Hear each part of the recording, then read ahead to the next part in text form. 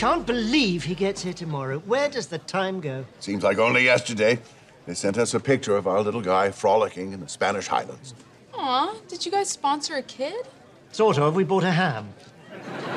Not just any ham, an 18 pound acorn fed jamon iberico from España. Cost as much as a laptop. Cool use of money. Last summer, I vacationed in Hartford. So, what's the occasion? Excellent question. You see, when Alan and I attended Oxford together, we sojourned in Spain and enjoyed the most exquisite meal. Ever since, we've been trying to recreate that Epicurean perfection. So, in order to celebrate 40 years of friendship. Wait, is the story just starting?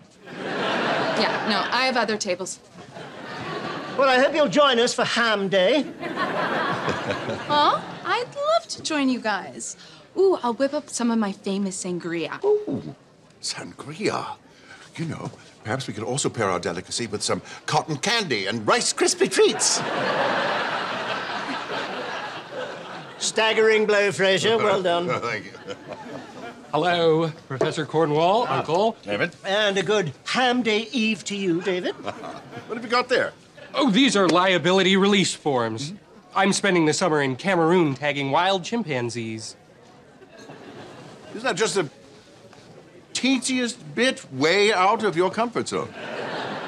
With the credits I have, it was either a paid internship at an ice cream factory or dealing with hostile primates in Central Africa. Well, phew, that's obviously... I'm not an easy decision, I know. So I asked Professor Cornwall what he thought, and he said, in that quirky British style of his, indubitably. It was his certainty that convinced me. Ah, No, that's a charming anecdote for your obituary. Another good one, Frasier. Ah.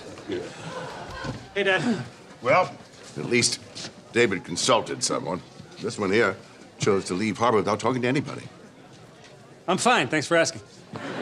And that's not true. I talked to a lot of people. Really? Didn't talk to me?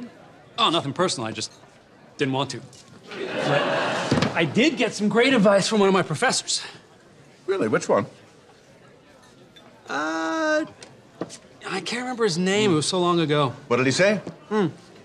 It wasn't that it was anything that profound, it was just, he was so clear about it. I, I asked him if I should drop out, and he just simply said, indubitably.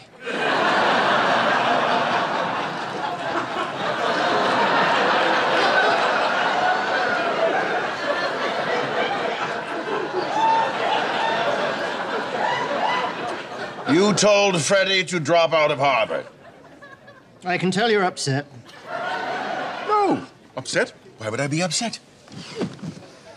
My son came to you for advice, and you simply shared your wisdom with him. Thank you. I am grateful. Ah, wonderful. Well, I'll be on my way. How dare you! You told my son to drop out of Harvard and become a firefighter, which I am entirely okay with.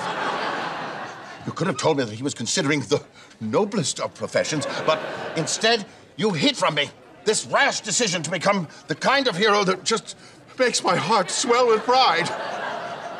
I love you, Freddie. You, go to hell, Alan.